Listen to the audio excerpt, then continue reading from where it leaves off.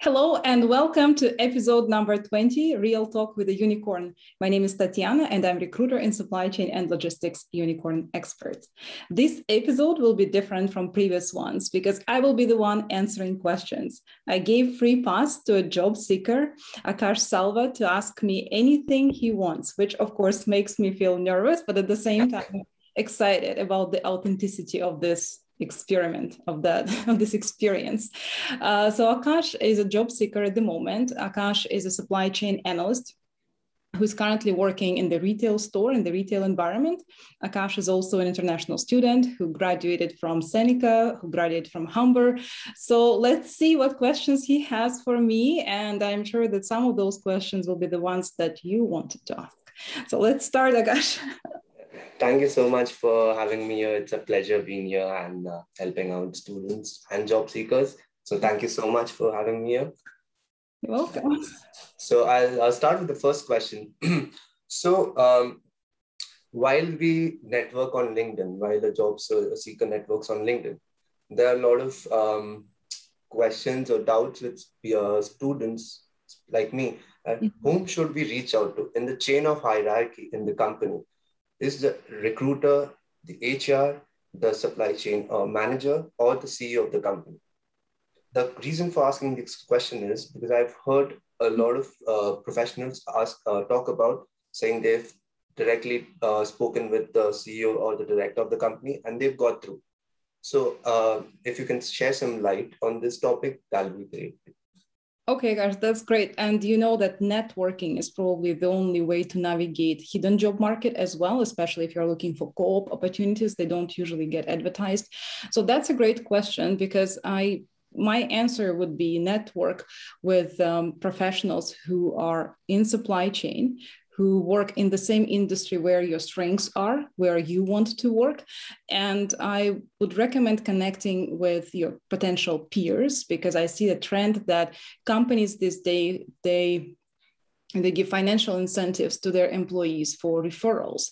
And I personally, as a recruiter, had uh, multiple examples when someone reaches out to me asking for a job for their friend or networking on behalf of their friend or just basically having a conversation. So be someone who others will want to recommend. And that recommendation may come from your peers. So, for example, in your case, if you are a supply chain analyst, replenishment analyst, connecting with um, professionals who have have the same this role at the moment will also be strategically right and especially connecting with those professionals who work for companies where you want to work as well.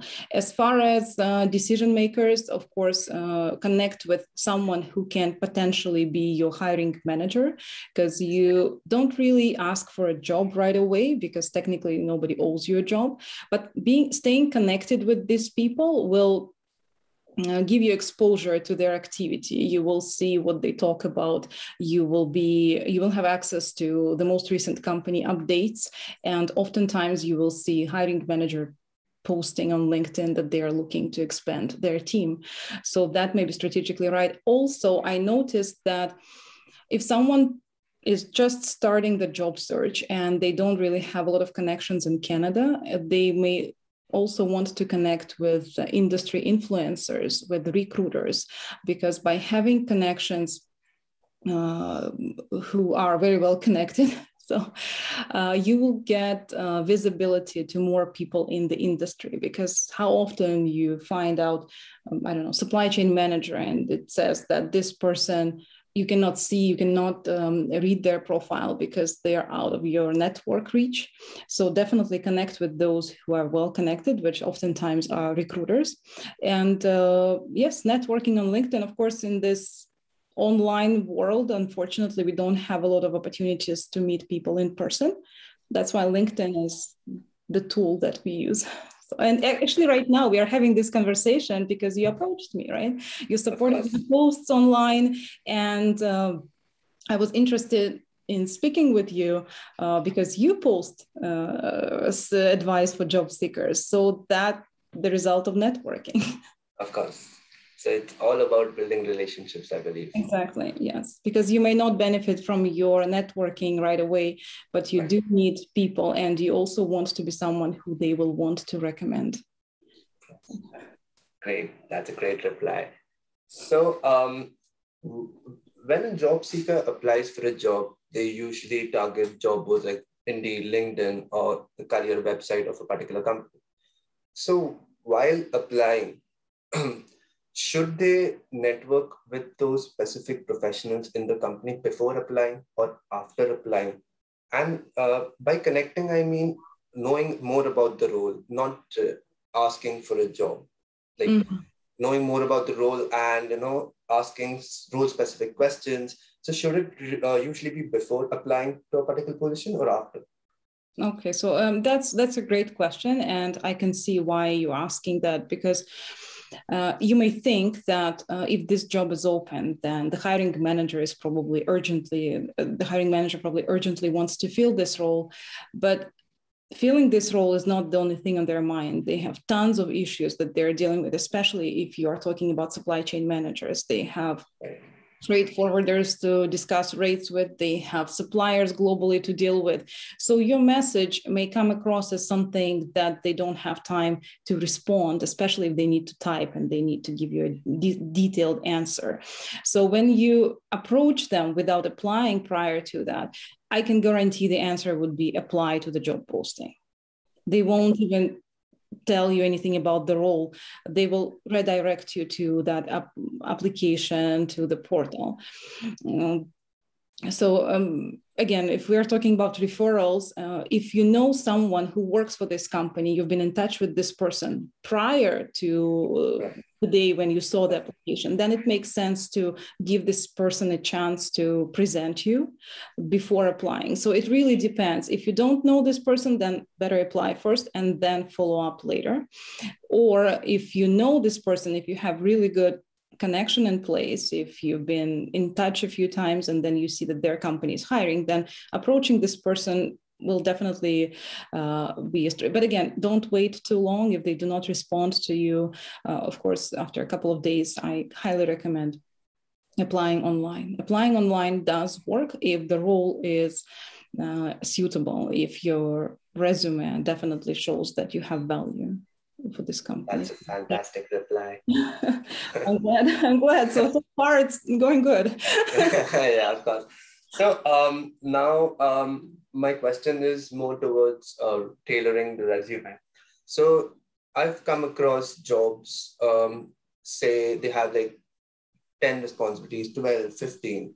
Mm-hmm. And uh, say um, if I'm tailoring a resume according to a job position, usually we keep four to seven bullet points in per pro um, in the per profile uh, in a resume. So now, when you want to demonstrate that you've done these, uh, you've done the responsibilities mentioned, but you there there will be a chance when you know you cannot demonstrate everything. Now, picking the uh, responsibilities which will impact the most or which will grab the most attention of the recruiter how does a job seeker decide that? Like what should what should a strategy be? Mm-hmm. and um, in saying, yeah. Okay gosh that's that's a great question. I'm i'm i'm a recruiter who advocates for um, the minimum amount of tailoring. Uh, so before applying online i advise everyone to take some time and think strategically. Identify the area of business, the area of supply chain that you really want to, um, to grow in. Maybe this area corresponds with your most recent experience.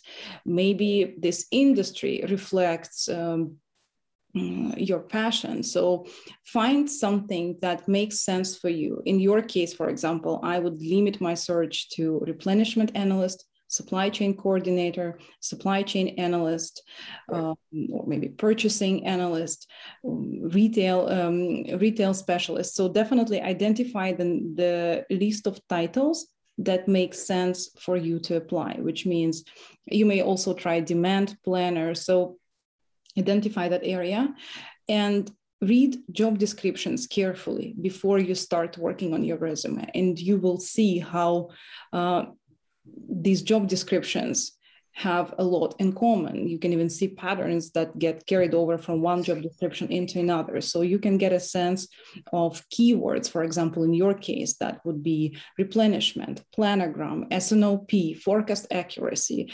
Um, mm, I don't know, maybe inventory management strategies like ABC inventory management strategy. So that needs to be on your resume. So once you identify the keywords that are specific to your niche, once you identify the titles that are specific to your background and to your area of interest, go to your resume and make sure that every single bullet point, and having six and seven is decent, uh, having more may be a little bit too much, but make sure you use powerful words to describe previous experience and incorporate those keywords into each bullet point also that's my personal recommendation. Use um, for example if you want to communicate your previous achievement there are different ways of saying it. For example you can say um, achieved 95% forecast accuracy by effectively collaborating with internal stakeholders maybe sales team marketing. Or you can say things like collaborated with other departments to ensure inventory availability both sentences relatively say the same, but the first one is more powerful because you start the sentence with your achievement. I achieved 95% forecast accuracy. Because a lot of people, and that's in our human nature, we read from top to bottom, from left to right.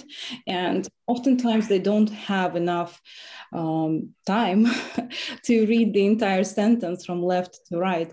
So they will be more screening through it achieved, improved, implemented, um, I don't know, collaborated, led, introduced. So use those powerful words. And then once you've done this work, which may take two days, three days, after that, your application should be pretty much streamlined.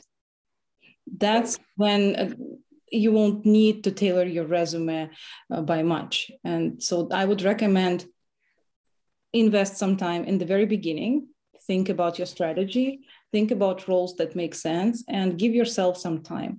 Give yourself a couple of days to complete that. Don't set unrealistic expectations because you have enough stress already. Uh, set smaller goals achieve them and be proud of yourself. Because also the reason we are having this conversation is because there are job seekers out there who see that those success stories and sometimes they may be intimidated. They may start questioning their role um, ability to find job and we are here right. today to address those questions. That's why i want you to ask questions. So right. It's more of like people see the success stories and you know they feel a bit demotivated as to why things are not working towards the end. But right i think hard work every day each day will work for them. And me, of course. yes, of course. And, and I like what you do for job seekers. For example, right now, Kash, you are looking for work yourself and right. going through that experience firsthand, you share it online so others can see. And I see how supported you are. That's amazing because people often think that in order for them to help others, they have to have a lot on hand. But sometimes you can help others without having too much because your experience alone can be valuable. And you know if if you can recommend someone for a job that you would want to have yourself but for some reason you are not a match for this role still do it. I mean help others even if it means that you won't be the one selected and your friend will be. It's life and it's long life.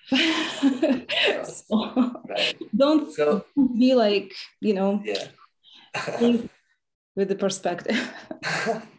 so um, basically stating the facts and figures which are impactful will really help the job seekers um, in their search, right? Yes. As, uh, mentioned. So um, I have this uh, question. Um, while applying for jobs, say um, there are postings on Wednesday or Thursday specifically, and there have been some postings uh, which are filled in like four days, three days. Some take, some have a deadline. So, is there a particular time of the day, like, uh, is there a particular duration where job seekers should apply? Say, Monday to Wednesday or so Tuesday to you know Thursday in the evening or in the afternoon because uh, it's my personal thought that uh, if I apply on Friday and say they might uh, res- uh, review the resumes next week, say Monday or Tuesday, there are chances that my resume would, you know, pile up and, um, you know, um, go back. So is there something, uh, is there a particular time uh, uh, to ap- apply as per the algorithms? Well, my answer would be no, I wouldn't recommend that because it's too com like if if you start keeping all those things in mind uh, I, I, mean i'm i don't think i'm capable of keeping this many things in mind. Right. i suggest the the moment you see the position apply for it. Okay. That's why having the right resume is crucial because if you think that you need to tailor your resume every time if the jobs you're applying to are so different from one another you keep postponing it. Okay once i get to my desk once i get home i'll tailor my resume. So streamline your application process as much as possible make it efficient uh, so that um, at least you apply the moment you see the, the job. Personally as a recruiter sometimes i post jobs honestly i don't really have any logic behind it the moment i get a job i post it. Oftentimes i don't post um, sometimes i don't even post on my website for various reasons because the search may be confidential or um, i may not i may be specifically recruiting from certain industries and companies and i want to limit my search. That's why it's a great idea to follow up with recruiters or hiring managers from time to time to see what they have because there are a couple of jobs that i'm not advertising at the moment but i'm actively working on them. So also i would yes i would say no i wouldn't I, I wouldn't overthink it uh, because every recruiter, every talent acquisition specialist is different. Every case is so unique. And if you start thinking of, about what they're thinking without even, it's too much. All right. Right. So, um, since you mentioned about the job, hidden job market, mm-hmm. I would want to um, like emphasis on that and uh, would want to know more about the approaches towards the hidden job market. It, there's mm-hmm. a lot of emphasis on that. And you know there are different strategies there are a lot of people talking about it on linkedin every day and there's just too much information right okay. so uh-huh. uh, of course each strategy is different and it works differently for an individual but um, i would want to know from you what is the hidden market and how can a job seeker approach it what should be the strategy like Okay, so that's that's a great question, and I will try to sim- simplify it for you so that the hidden job market becomes clear, and the the ways to navigate it are um, that you know them. So the hidden job market, what it is, jobs that exist, but those but jobs that are not advertised. So the only way to learn about those jobs is to by networking, by talking to people. So, networking is the only way, as I see it, to navigate the hidden job market. Right. And also, not just networking, but also making sure that your profile on LinkedIn looks decent that your resume is perfect. And people who know you speak highly of you. People who know you are willing to recommend you which means every single communication every single conversation should be done with respect to other people's boundaries time availability. Uh, even if this conversation as you may think won't make sense going forward you never know. I can give you a couple of, but more than a couple of examples how hidden job market, how I was basically how I had confidential jobs that I ended up filling because someone had, uh, was uh, networking with me. So I had a job which. Um, uh, which I, I think I advertised, but uh, the person reached out to me and she was not suitable for the job and she recommended her friend. Her friend would never know about this job because I did not use job board to advertise. But for her to recommend her friend, those relationship had to be good relationship. Right. Or for example, I had someone who reached out to me asking if I have anything in logistics because that person was asking on behalf of her friend who she really wanted to help. And I said, I don't have anything in logistics at the moment, but I have something that fits you. Will you be interested? And turned out that she was interested. So, and there is another example someone on LinkedIn who had a great profile, a great background, approached me in April and we exchanged emails. I received her resume and saved it into my database. But after that connection uh, in April, she was supporting me on LinkedIn from time to time, maybe putting likes on my posts or commenting. And I had a feeling that I already I, I knew that person because I saw what type of posts she was liking. So I had an idea of her values and her leadership approach. So basically, your activity on LinkedIn um, gives other people idea of what you value, what you want, what you respect. So be very mindful what you say, what you post, and what uh, what you uh, support. So definitely, uh, I when I when I came across her resume because I had a job and I was browsing through my database, I called her right away, and she's currently in that job. Like, so I feel the role. so again that was done through networking. But at the moment when she was networking with me, I did not have a role, and. Uh, this is something that people anticipate networking to bring fast results. In fact, it is a slow process. The process that requires building connections. And of course, how do you start? You connect with people on LinkedIn. You, for example, uh, you identify the industry. In your case, it may be food manufacturing or retail.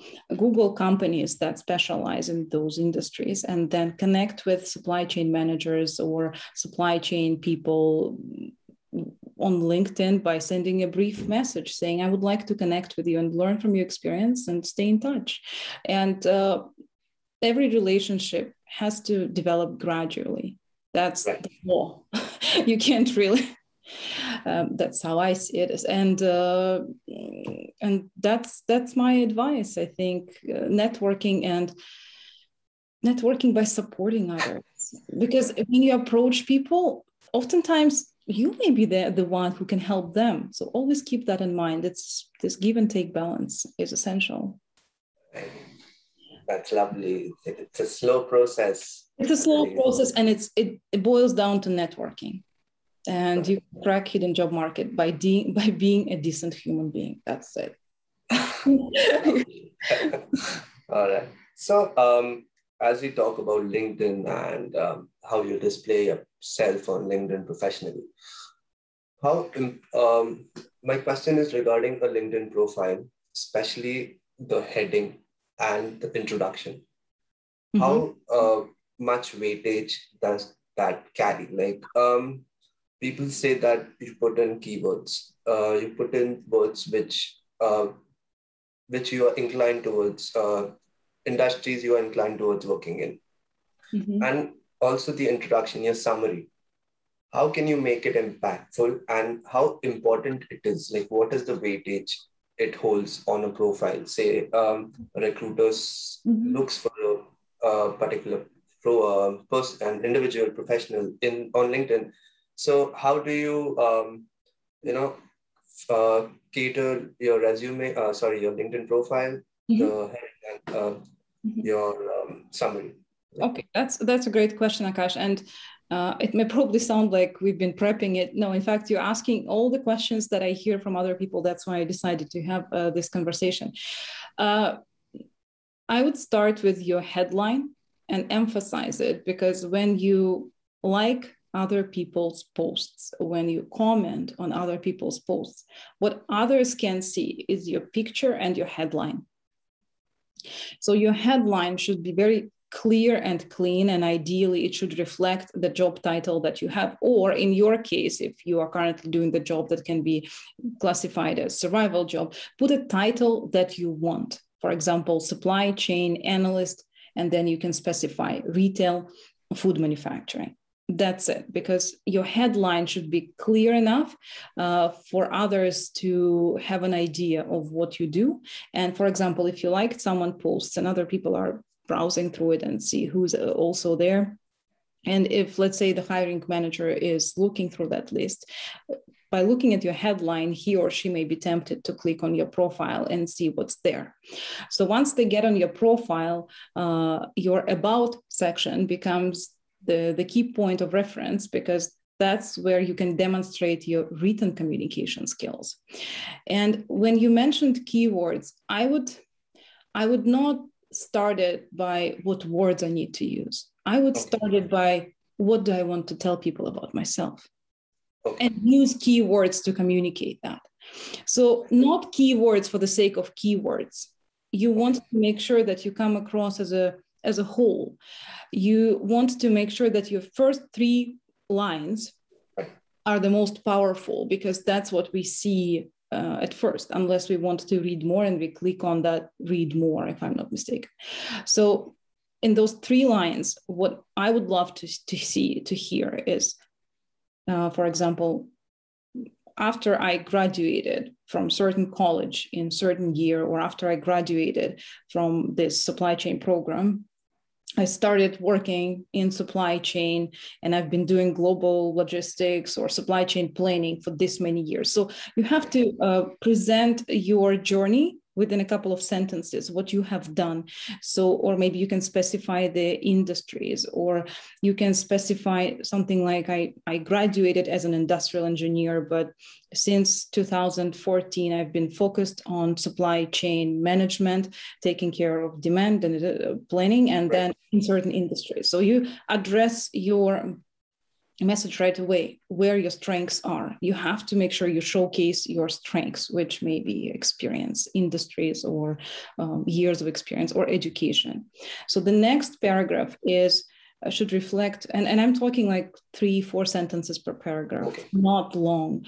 So the second paragraph uh, should address um, uh, more of what you have achieved and how you achieved it. It should give me an idea of your values together with your ability to work. So for example if you if you are a dedicated person if you worked for an employer for 10 years i would suggest bring it up. I worked for one company for 10 years. I demonstrated my loyalty and that's who i am.